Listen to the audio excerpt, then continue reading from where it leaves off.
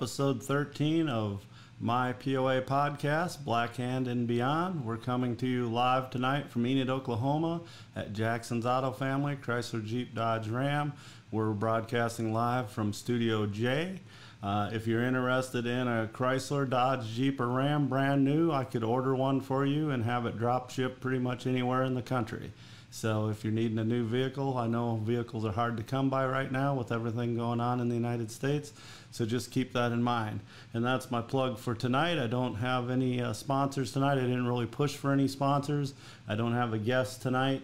Um, it's going to be kind of a quick show. Uh, nothing against the subject or to take anything away from the subject. It's still a large subject matter tonight. Uh, but We've had some large episodes the last couple weeks, so you know, going almost two hours with Double Tough Gold Prince, and last week uh, the KS's Pony Farm. So tonight we're gonna try to do this in an hour or less. We have about 50 some photos to go through, and uh, tonight's topic is the 1974 quarter horse stallion Double L's Dickens and he was owned by Fred and Jan Bruner from Fall Creek, Wisconsin, most of his life. Uh, they bought him as a two year old and uh, they kept him until he died, and he was used primarily as a POA stallion. I do believe they bred uh, a few quarter horse mares over the years to him, people that wanted to breed uh, to him, they did. Uh, he was a beautiful stallion, about 14.3, and we're going to take a look at him right there. So there's a picture of Double L's Dickens in his prime, and he was a own son of Double L's Ray, a quarter horse stallion who was a son of this stallion in this picture. This is Double L Straw. And Double L Straw was a Triple A champion and he was also an AQHA champion. And he was a pretty well known quarter horse. He was advertised in the journal and uh, uh, Jerry Wells had something to do with him. He had, I believe, he had him on his place, maybe even owned him for a while. He was one of those race stallions that Jerry liked and saw potential in him. And uh, like I said, Double L Straw made a name for himself in the quarter horse breed, and his grandson, Double L's Dickens, made a name for himself in POAs. I got to see uh, this stallion in person in about probably 86 at the Bruners in Fall Creek, and uh, he was a beautiful stallion. Like I say, they said he was 14.3. If you would have measured in POA wise, he probably would have been a little shorter than that, but he wasn't a real, real short you know, stubby horse. He looked like just a, a small quarter stallion, just a beautiful mover and a, a, very pretty head and a very pretty neck. Uh, you got to remember, you know, this picture was probably taken in the 70s, so they used to take those manes down quite a bit for the for the path there, the bridle path. So not like they do nowadays. So this horse ushered in a whole new bloodline into the POAs, which became the straw. POAs. Now he didn't have a lot of sons that on to stand uh, at in programs, but he did have some daughters that became great producers, and he just had a lot of offspring that became uh, international champions, national show champions. At one point in time, he was the leading or, uh, AQHA stallion uh, sire of POA national champions.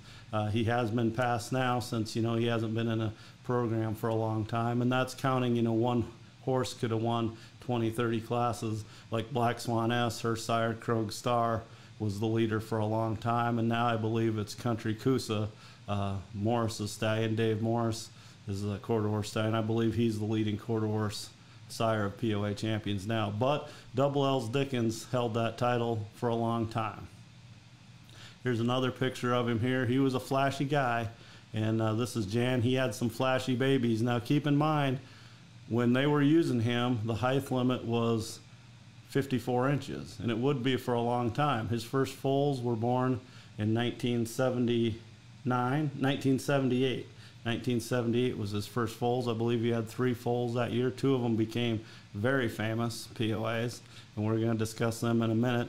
Uh, but you had to breed a really small mare to a 14 three hand quarter horse if that was going to be your main stallion. That was the Bruners main senior sire, they had about they usually kept four mares, I'd say three or four mares, and one mare in particular ended up having about 13 foals by this stallion, and we'll talk about her here in a minute. And probably five or six of them or seven of them, everyone's going to know who they are when we start talking about them.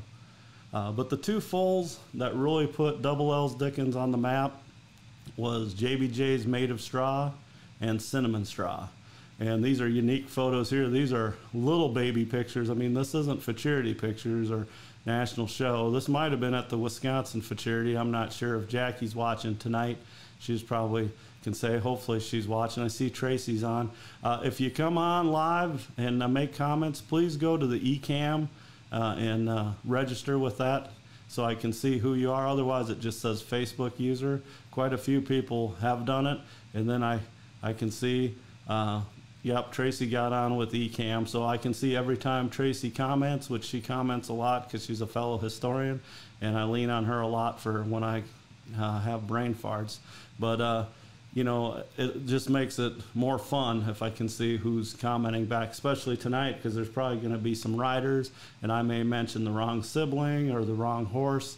Uh, some of Double L's Dickens foals looked a lot alike. They were leopards. Of course, a lot of them were full siblings. Uh, but anyway, uh, it's easy, but it takes about a minute. A minute, and Tracy said. So it takes a few minutes. Maybe for next time, if somebody wants to go and do it for next week, uh, you can. But anyway, the filly on the left, that's JBJ's Made of Straw, and that's a young Jackie Guthrie. She was Jackie Blazer back then. I don't want to say her age. I don't even know her age in that photo, but she, let's say she was very young, and uh, that's a cool photo. She's crouched down showing that filly. Uh, that Wisconsin Futurity. Okay, I had it right. Wisconsin Futurity. Jackie just said, and I can see that's her. So. Uh, JBJ's Made Straw won quite a bit as a young filly. Uh, she won the International Futurity, which was replaced by the Select Sire Futurity, so it was the most prestigious Futurity at the time. Of course, the Wisconsin Futurity was the very first Futurity ever created in a POA club. And then uh, she went on to win, I believe, the International Show as a yearling, and then she won the International uh, Futurity as well as a yearling. And here she is winning the International Futurity with Jackie Schoner as a young baby. And then here she is at the international show. And then here she is at the sale. Now, this is a historical picture here. She was, I believe, the high selling yearling filly. She was purchased by the Gayweiler family, and that's Julie Gayweiler standing next to uh, Jackie. Of course, uh, her mom, Eula, was on the board of directors for decades and uh, from Decatur, Illinois. Helped a lot of kids and POAs, a lot of families, and they purchased this mare and uh, as a young as a filly, and uh, Julie rode her for quite a while, and then uh, she went on to Kelly King, and I believe Kelly King from Colorado, uh, another director for a long time's daughter, Jerry King, was the president of the club for many many years and a board of directors several different times, uh, and she Kelly rode this mare and supremed her, and uh, she won the 1986 the second versatility championship ever at the international show was won by JBJ's Made of Straw and Kelly King. And then of course she went on, you know, to she went to California, and Susie Johnson rode her, and uh, did a lot of great things in California. This mare was probably a supreme champion many times over if you added up her points, especially her performance points. Uh, and I don't have a lot of pictures of her as an adult. You know, there's only so many you can get on here and only so many hours in a day. But there she is out in California. Of course, that's a Pam photo. Pam's a great photographer, especially from the West Coast and the Pacific Northwest. And that's a young Susie Johnson on JBJ's Made of Straw. Later, we're going to see a grandson of Made of Straw that brings it back full circle to Jackie uh, Guthrie. And uh, that's my lucky zipper. His pictures will be in here. She had one foal, I believe, this mare, and that was Lucky Straw. Please correct me if I'm wrong, uh, Jackie. But uh, Jackie said she was an early June foal, so yeah, she looked pretty young at the Wisconsin Futurity. That probably would have been in September. And uh, so, anyway, this is JBJ's Made of Straw, and that was one of the first offspring of Double L's Dickens. So you could see he got a, a big jump, and Jackie Guthrie became a, a good supporter and a great fan of Double L's Dickens and kept a lot of his stuff in her program throughout the years, even till late. And uh, so now we're going to move on to the second famous foal of Double L's Dickens, another 78, and this is the one that was the baby in the ad next to her. uh, and this is Cinnamon Straw. Now, this was a picture courtesy of the Bruners. Uh, Jan sent me quite a few photos years ago for the Legends book. Uh, Double L's Dickens was the only quarter horse in Spots Included, the book I wrote about uh, famous uh, sires that helped the POAs, and of course he was one of them. So this is Cinnamon Straw. He probably was a young yearling here, and uh, he was purchased by the Koraleski family. Koraleski's had quite a few of the Bruners uh, POA foals and Double L Dickens foals over the years, and this was the first one. Jeff Koraleski supremed him at a very young age. It might have been the record. It was four years old. He became a Supreme Champion. Uh, he won the Elroy Latch Memorial that we've talked about. That's the equestrian memorial at the Midwest Regional Show, and he won that twice with Cinnamon Straw. And of course, he was a junior pony when he won it. Then Cinnamon Straw went to Indiana. He was shown by the Rouseys, owned by the Rouseys, and uh, I believe this is Tracy Rousey. I hope I got that right. And I know he was there for a while. They did pretty well in competition. And then I know uh, Brian Studer rode him and won quite a few classes at the 89 International. Brian and Cinnamon Straw won, I believe, five game classes. And I really do believe, you know, it's kind of ironic. A boy named John won the first versatility with Darlin Jill, John Katzenberger. But that was in 1985. I think if it would have went before that. Uh, Jeff Koraleski, also from Wisconsin, with Cinnamon Straw, would have had a good chance because he was young, he was in good shape. Cinnamon Straw was. He jumped him. I know Rousey's didn't jump him very well. They said she told me that on, on Facebook or somewhere. But I know Jeff did jump him as a young age, and uh, I think he would have did very well in the versatility competition. So here's some more pictures of Cinnamon Straw. Again, he was with quite a few families, made a big name for himself, especially at an early age. Now, he became the high selling gelding ever at the international sale when Koraleski sold him, and that was in 1982. 1982 was a big year for POAs for prices. Prices started increasing. They would dip a few years later when the whole you know, the oil field and the whole market dropped out of horses about 84, 85. Quarter horses took a big hit as well. Uh, but in 82, POAs were flying high. Pokey Plotted, it sold for 8000 in 1982 and was the high selling POA ever. And then at the same sale, Cinnamon Straw sold for 6000 and being and became the high selling gelding of all time up to that point. Of course, those records have been smashed now as, you know, prices just the, and inflation and everything else. Okay, so now we're back to Jackie here. Like I say, Jackie was a big fan of JB of uh, Double L's Dickens, and this is JBJ's Strawberry.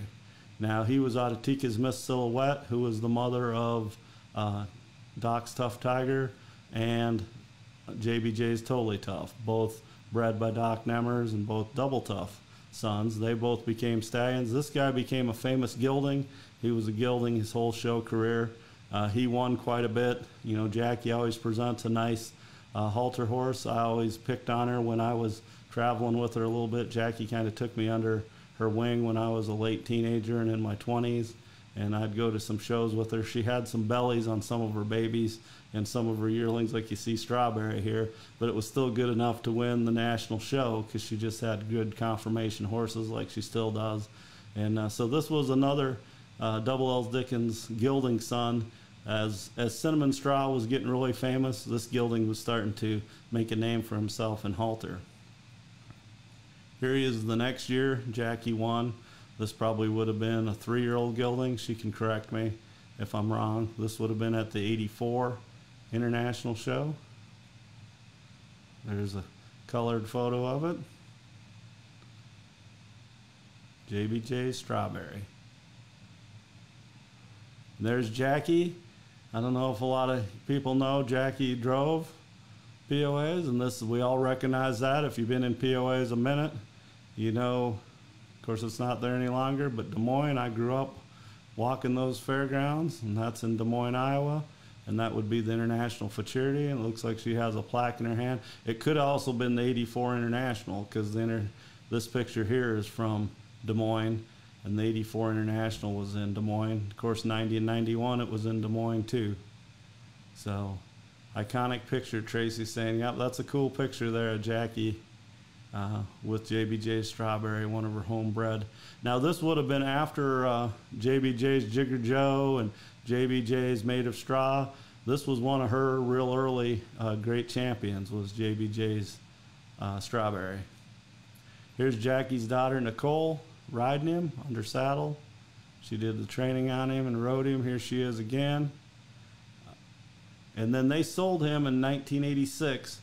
And Yep, Jackie just put it. and I was just getting it to it. She beat me, but the prices had dropped off a lot. I believe he sold for thirty-five or thirty-six hundred in 1986, but he topped the sale. He was the high-selling POA. So that means in a period of four years, with not many foals on the ground, Double L Dickens had the high-selling gelding at the 82 sale and a record breaker, and then in 86 he had his son was the high-selling POA and Bruner's just started pumping out a lot of good babies. They uh, one mare in particular that they bred every year to Double L's Dickens was Rod Vandy's baby doll. And Rod Vandy's baby doll, according to my records, had 13 foals by Double L's Dickens. At least five of them became international champions. So yeah, and Strawberry, we better wrap that up a little bit. Jackie said, and I remember this story too. She said he ended up being owned by Tanya Tucker. So people, most uh, country people, I don't want to say country and western. That sounds like my dad, but uh, most country people know Tanya Tucker was a teenager, you know, entertainer, and became a famous, famous uh, western singer, country singer, and uh, she had JBJ Strawberry. So that's cool. I believe she kept him on her farm down in Tennessee. So this gelding here, this is Buster Straw, and he was the 1981 foal by Rod Vandy's baby doll. I believe he was her first registered foal. So this was pretty early. That's Leonard Lewis showing him. He was bred by the Bruners and he was purchased by the Rupplinger family from Minnesota. Lee Rupplinger, her two daughters, uh, Becky and Amy, showed, and uh, Becky showed Buster Straw, I believe. And you know, I looked up some pedigrees getting ready for this, and of course, back then the records weren't on the internet, as there wasn't an internet, so not all Double L's Dickens foals are on all breed pedigree. But it's funny, Buster the Wonder Pony is on all breed pedigree as a 1982 gelding, and he's by Double L's Dickens. And it's him who he's actually 81, Buster Straw, but somebody put him on there as Buster the Wonder Pony. So Here's uh, the aforementioned Becky Rupplinger from uh, Minnesota with Buster Straw. He was a handsome looking gelding. You know, he looked like a lot of them that uh, the, the Bruners ended up producing. Those nice leopards had some roan varnish marks on him. Here's a picture. I believe they told me this was in Colorado. I might be wrong, but I can't remember. People email me, text me, instant message me, and sometimes I, I lose track of everything. But I try to get all the pictures, but sometimes I don't get all the content. Uh, but that's Becky. And there he is on the rail.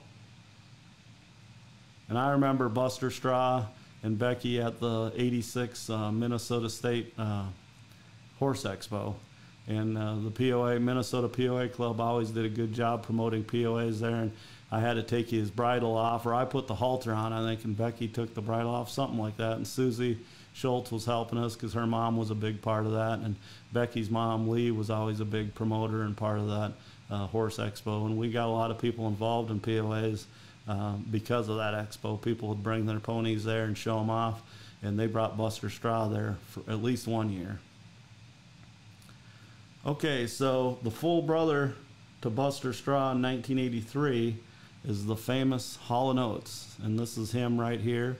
And I'm going to let this picture sink in a little bit. He's a young baby here, a beautiful baby. Of course, he ended up running out. He's a famous gelding, lived long time with a lot of families. But I don't have a picture of Buster Straw and Hall & Oates' full sister that's in between them. And she was one of my favorites. Uh, the Koraleskis owned her. She was a very beautiful mare. I always liked the way she moved. And that was Jolene Straw. And Jolene Straw, at a young age, had a Docks Built Tough colt named KK's Tough Teddy. And I don't have a picture of him on here tonight either, but KK's Tough Teddy won the international show small gelding class five years in a row. I know, I think he was at Tom's barn, Tom Walmsley in Decatur, uh, but he was hard to get around. He won, the, he was a small gelding and he was by Built Tough. And uh, of course, uh, out of Jolene Straw, who was the second foal in the Rod Vandy's baby doll uh, Double L's Dickens cross. But this is the fir- third foal, the handsome Hall & Oates and my dad and I always argued about this. I said he was named after the band, and Dad didn't know who Hall and Oates was, Daryl Hall or John Oates. And he said they were probably Hall and Oates when the mare started foaling. They were probably Hall and Feed, and that's why they named him that. I never asked Jan, but knowing Jan and Fred Bruner, I would say he was named after uh, the singing duo. So here he is as a uh, early yearling. Looks like they body clipped him or something, probably getting him ready uh, to sell. The Smith family from Wisconsin purchased him, and Samantha Smith showed him. They showed him a ton as a yearling. Uh, one of the episodes, probably uh, maybe next year, late this year, will be about all the, the 1982 uh, and 83, uh, 83 yearlings from Wisconsin that showed. There was like four or five of them that were in the high point running. And then Avatar's Mucho from Iowa, and he sold to Missouri. He actually won the high point, but there was a whole bunch of yearlings that year. The Baron, uh, oh, Bit Tough Cash, and Hall and Oates. They all were shown in the same state, and uh, all great POAs, and they're all the same age, all around the same area, even. So. So this is a young Carrie Kane, and a lot of people remember Carrie. Uh, she actually showed a different uh, Double L's Dickens son, but here she stepped in for Samantha. I think he was three here, Hall and Oates. I'd never seen this picture that I know of unless it was in the magazine, but I know I'd never seen it in color. So I want to thank Carrie for sending this uh, to me. You can see he's starting to roan out a little bit there, and uh, he was just a, a handsome POA. And of course, Carrie will be talking about her in a minute. She made history with a, a Double L's Dickens POA.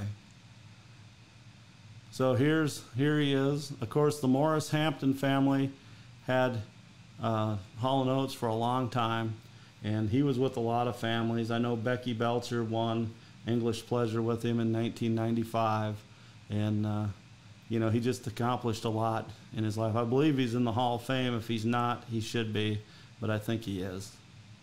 So here he is again. You know, uh, Susie's two sons rode him, and then of course they had a lot of great older POAs. They had the 2Ds POAs, but then they also had uh, Stormy Britches Jr., and of course Hall and Oates. So you could always count on seeing some great older POAs when you went to the Morrises. I'm going to put the POA history banner on this picture here because that's some good modern history, 2001. Both these kids are young men now, grown up. So, so we move on to another one. I believe this is Prime Time. He roaned out too. Uh, prime Time would have been the 1984 uh, offspring. And when I say roaned out, I don't mean that in a bad way. I mean they had to breed color producing mares to Double L's Dickens, and a Rod Vandy's baby doll had to be homozygous. Tracy, I'm sure she was. I don't remember. I seen her in person, but I was a kid. I can't remember what she looked like. Jackie might describe her for us. Uh, but this was the 1984 edition of that cross. And of course, Carrie Kane ended up showing prime time. We just had a picture of Carrie. And here he is at the 82 Midwest Regional. Carrie was is a Wisconsin girl, and she won the versatility with prime time. And I believe she was fairly young when she won it with him. She was in the 13 through 18, but uh, he became the second Double L's Dickens foal to win the versatility competition. You had JBJ's Made of Straw in 86, and then Prime Time and Carrie won it. Okay, here's just a few of Bruner's uh, POAs. Some of these weren't as famous, but they're Double L Dickens sons. So this is Jack Straw. He was one of them. I believe this is Straw Zan. I know they had Zantana, but I think this is Straw Zan. And this is Fred Bruner, and that's a beautiful looking colt. That was probably the Wisconsin Futurity, I believe.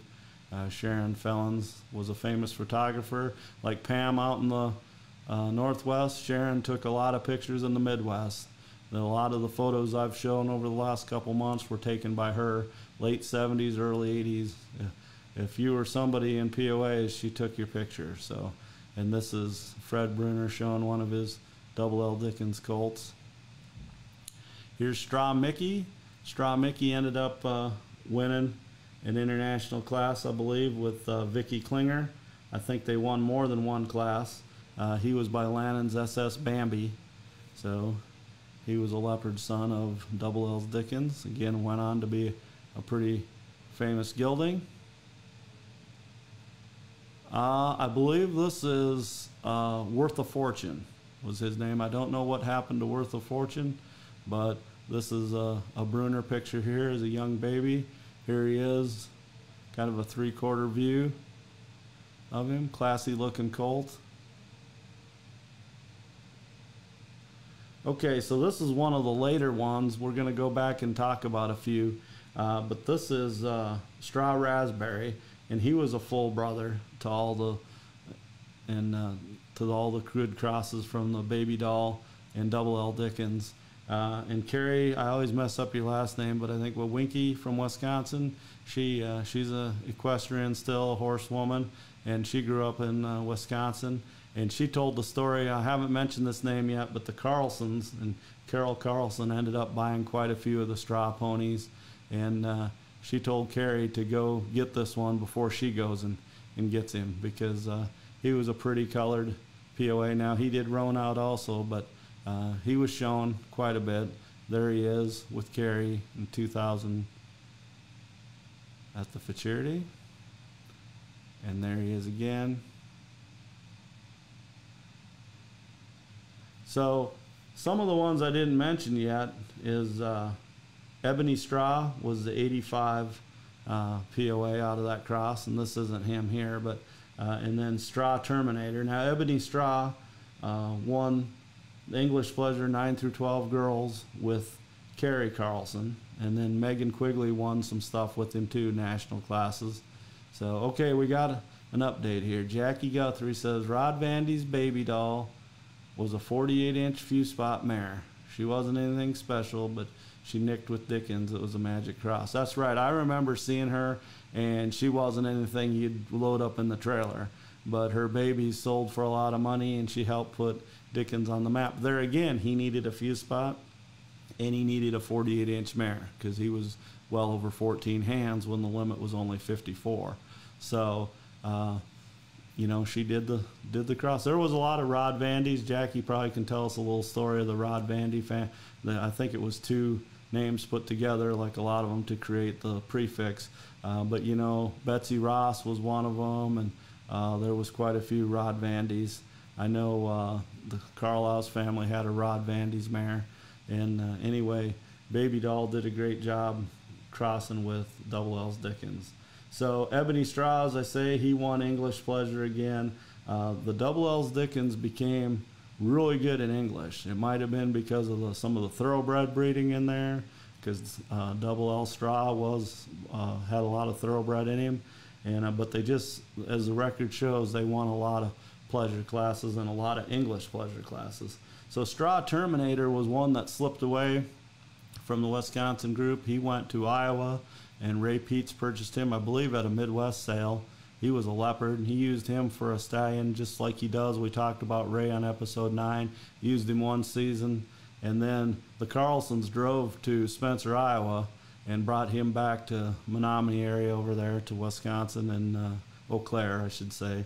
And uh, he became a Mount Kelly Carlson won stuff on Straw Terminator. So he spent a year or so as a stallion. He ended up signing Driftwood's Tango Bars. I know Jackie Guthrie went to Spencer and got him, and I believe he was in uh, Hank Frieder's barn for a while. She was Tango Bar. She was a nice looking filly. She was actually a daughter of Straw Terminator, but he became a famous POA.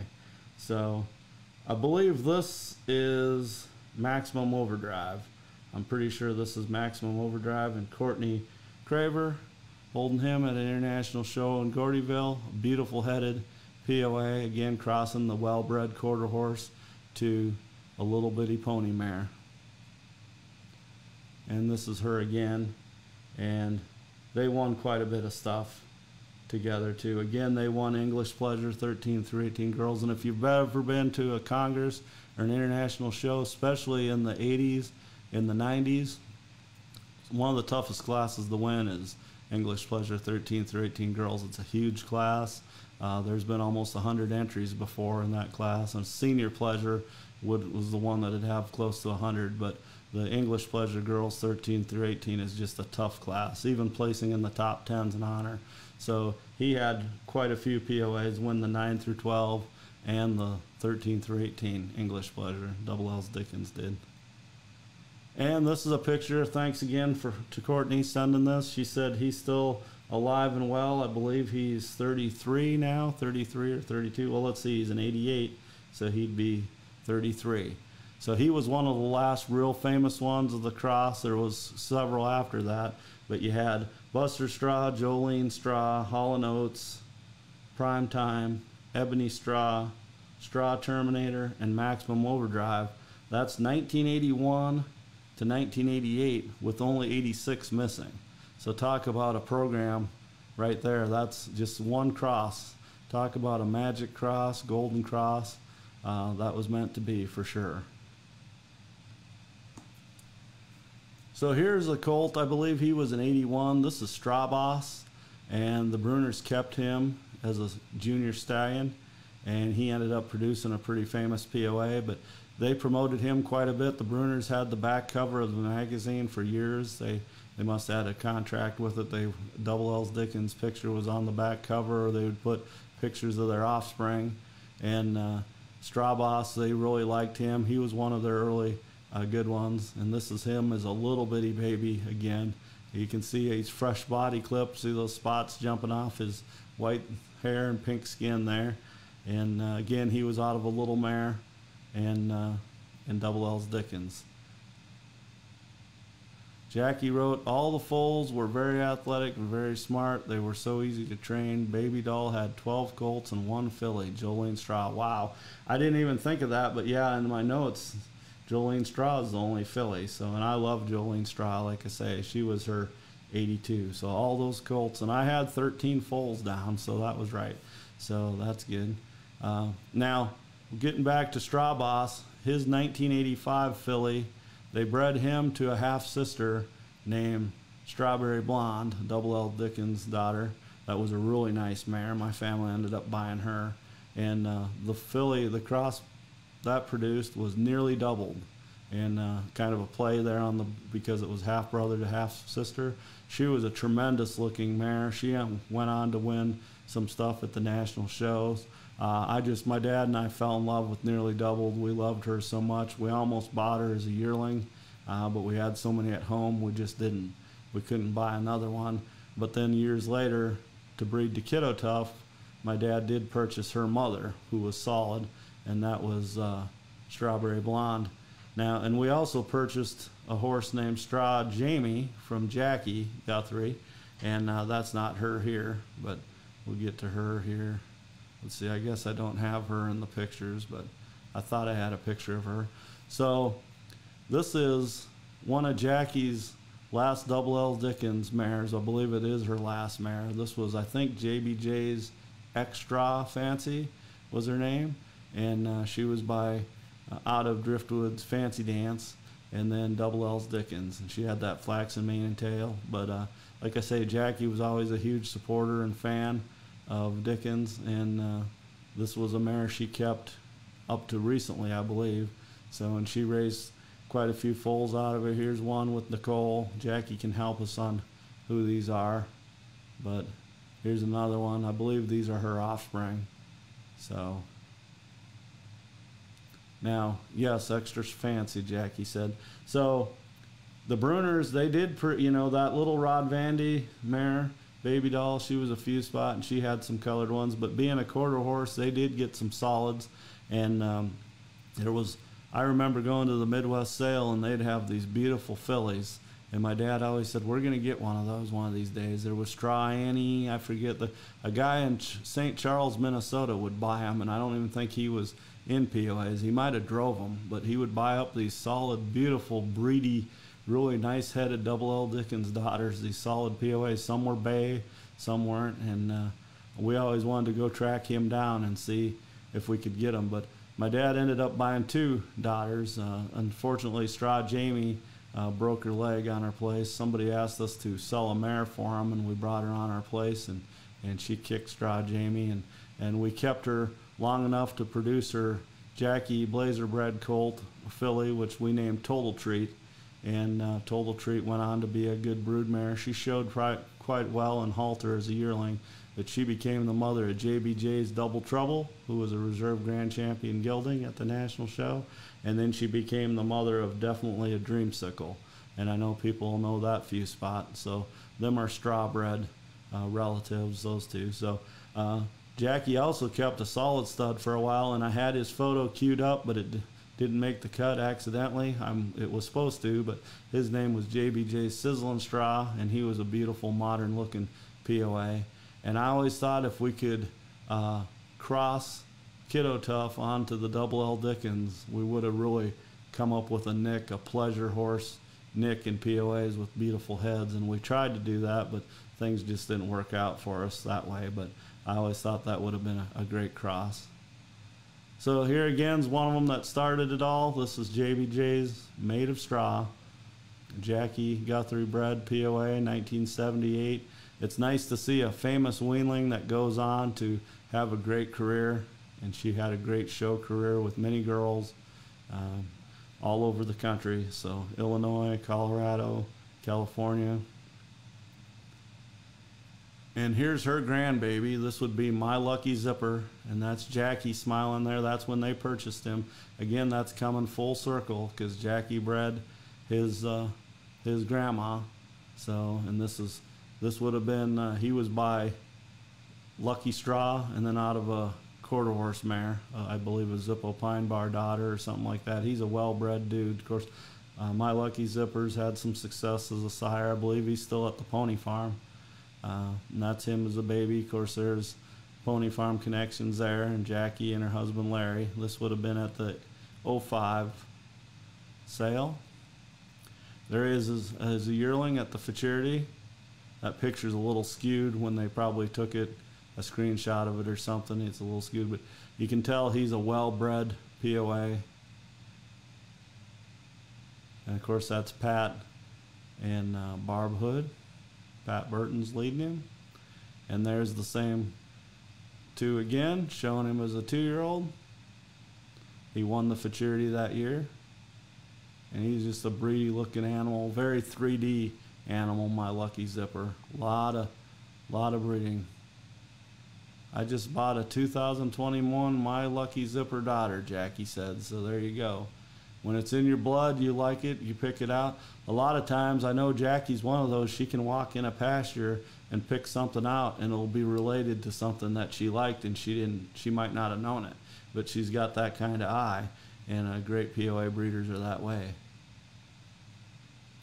Here's Ada Straw Girl. I just threw this in because I had the picture, not a very good picture of her. I believe she, uh, I think Carolyn Dreyer had something to do with her. I know Jan Rogers talked to me about her. Uh, I believe she was a full sister to, uh, oh, I'm drawing a blank, but she was out of Tiki Strawberry, I believe, JBJ Strawberry. Jackie you'll correct me if I'm wrong, but Ada Straw Girl, she was around. She sold quite a few POA sales. Here's one of the solid daughters I was talking about. I believe this is Straw Annie, but you just look in the for a little bitty mother. Look at the clean limbs, the clean legs, and the nice head. You know, she had a nice neck, nice chest, but she was solid. But uh, a lot of these did go on to make good brood mares. Here's Straw Jamie that I talked about earlier, and Jackie had this mare. She had uh, JBJ's Teetotaler was one of her foals, and then JBJ's Totally Macho is pictured here. And then Total Treat was bred by Jackie, like I mentioned, but we fold her out. And uh, anyway, JBJ's Totally Macho went on to have his own family of POAs and be a pretty good stallion up in Michigan, a good performance POA. She was a bay, uh, Straw Jamie was. I believe she was Straw Boss's full sister. Yep, Jackie said Straw Girl was out of Tika, so that means she's a full sister to Strawberry.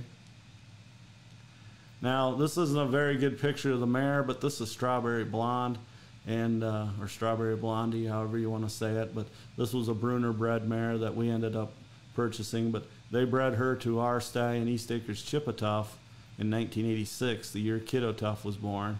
And the next year, she had Perfection. And that's this colt right here. He's probably 10 days old in this picture. Not very old, but he won the Select Sire for Charity in 1987. That's the year it was senior and junior.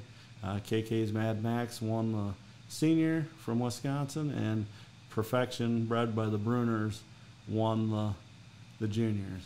Yep, Polly Hammer rode JBJ's Totally Macho. So, like I said, tonight's going to be a quick show. Now, I want to explain something a little bit. Here's Double L Dickens again, beautiful headshot. But, you know, some of these big subjects like KS's last week and Double Tough and Gold Prince, uh, this podcast is not meant to be an anthology. You know what I mean? It's not going to be all inclusive and cover every single thing. And I haven't had any complaints or anything. Everybody's been really great, really uh, a lot of great comments about this. Uh, but it's more of a overview, maybe an extreme overview. Like next week's going to be salty POAs, and there's no way I can talk about the salty POAs in two hours. And we can't talk about it in two or three episodes. If we wanted to break it down and get really in depth about everything that Lynn Puffenbarger did from 1960 till just a couple years ago, and all the stallions and mares he used, and all the crosses he did, and all the kids that rode them, I mean, that'd be a book. You know, that'd be a mini series. So it's these podcasts are meant to honor people. Like tonight, I honored Double L's Dickens and the Bruners and uh, Jackie Guthrie, the Carlsons, everybody that uh, believed in the Koraleskis, people that promoted Double L Dickens stuff. Uh, but it's it's an overview of it. So you know sometimes things are going to get missed, and I'm not going to be able to have time to mention every single uh, family or every single uh, POA. So, but I do apologize. I try, uh, but it's you know some of that would get a little tedious for the viewers too. So I wanted to do a little quicker episode tonight. Uh, next week, I'm hoping to have a live special guest and then another guest on the phone. Hopefully, everything works out logistics wise. And uh, I'm happy for all the comments. We got a nice comment on there right now. If anybody ever has any questions about pedigrees or history or anything, you can look me up on Facebook. Of course, these live, this is live right now. I'm going to put in my horse whinny here. Let's see.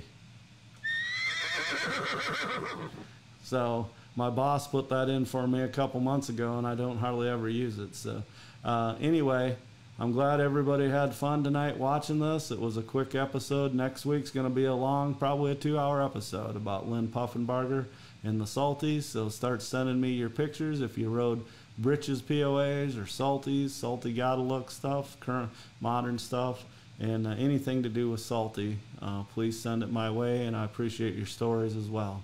So, again, uh, thanks for watching my POA podcast, Black Hand and Beyond. This was episode 13, the Straw POAs. See you next Tuesday for the Salty POAs.